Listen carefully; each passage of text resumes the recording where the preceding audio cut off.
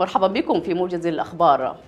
قال مواطنون بحي فريغريد شرق المورد بأم درمان إن ميليشيا الدعم السريع فرضت عليهم حصارا محكما وأجبرتهم على البقاء تحت ظروف بالغة التعقيد. استمرت لمدة 11 شهرا وسرقت السيارات والممتلكات وحرمتهم من أبسط الحقوق. وسجل والي الخرطوم أحمد عثمان حمزة زيارة لعدد من الأسر بحي المورد حيث يوجد حوالي 61 فردا لم يغادروا منازلهم متعهدا بتوفير عون غذائي عاجل. ومياه وخدمات صحية. قال المبعوث الأمريكي الخاص إلى السودان توم بيريلو قال إن السودان يمكن أن يصبح أكبر أزمة جوع في العالم ومن الضروري إيصال المساعدات الغذائية والإنسانية إلى المدنيين وكذلك اللاجئين السودانيين في تشاد وأضاف تابعونا للحصول على أفكار من الرحلة الأخيرة إلى تشاد للقاء اللاجئين والعاملين في المجال الإنساني.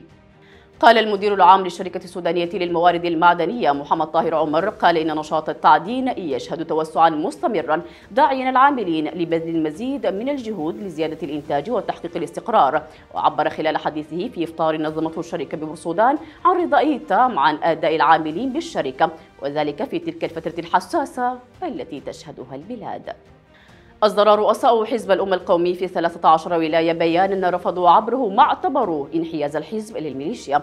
وقالوا لقد ظللنا نتابع موقف قيادة الحزب تجاه الحرب. واتضح لنا دعمها الواضح للدعم السريع. وهو بلا شك موقف مخزن لا يشبه الحزب وتاريخه. ومصادم لأشواق وتطلعات جماهير الحزب.